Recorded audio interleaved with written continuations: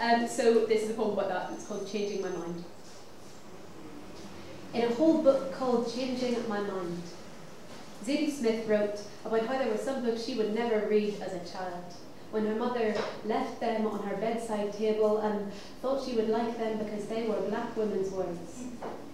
Later, she said, I didn't want to read them then. I didn't want to like them just because they were like me. I used to feel the same way about Heaney. I thought, just because he is Irish and Catholic, that doesn't mean that he speaks for us all. But a few weeks after I finished school, I went to Donegal.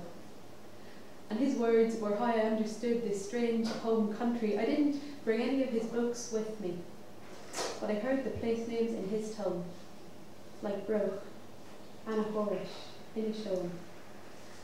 Malin is as far north as Ireland goes and pilgrims rearrange the bleached, chipped bones of the land, these tiny, perfect stones into names, into love, into Éire, into poetry. As we drove the laneways home, Heaney's words kept coming back to me, the end of that short poem of his, Broagh.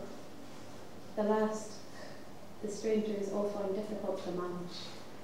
I have never yet felt stranger, more at home.